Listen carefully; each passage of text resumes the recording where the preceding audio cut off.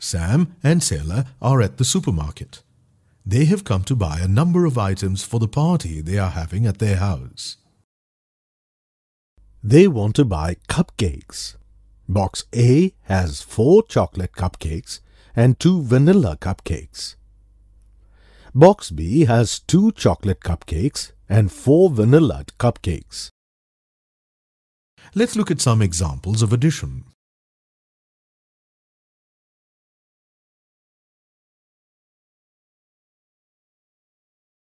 Notice that in each case, the sum of the two whole numbers is the same, regardless of the order of the addends.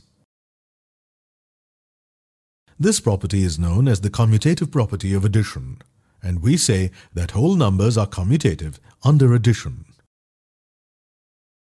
There are six cupcakes in each box, and Sam has loaded four boxes in his shopping trolley.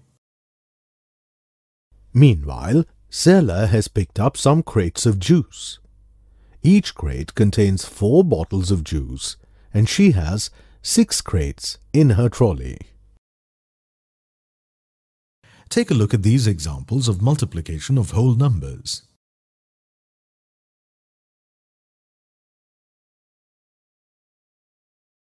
Notice that regardless of the order in which the numbers are multiplied, the product is the same.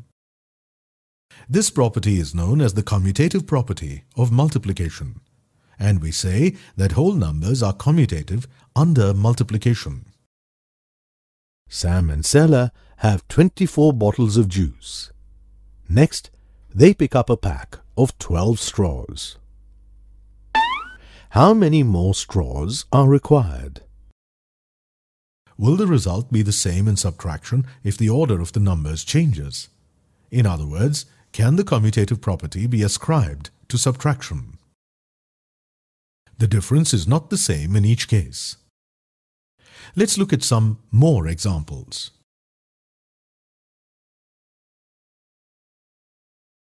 As you can see, the results differ depending on the order in which the whole numbers are placed. Therefore, the commutative property cannot be ascribed to subtraction. Now, Let's say that Sam and Sela want to divide 24 cupcakes equally among 12 paper plates. They've laid out 12 plates for the guests. How many cupcakes should they serve in each plate? Will Sam and Sela arrive at the same result if they change the order of the numbers? In short, can the commutative property be ascribed to division?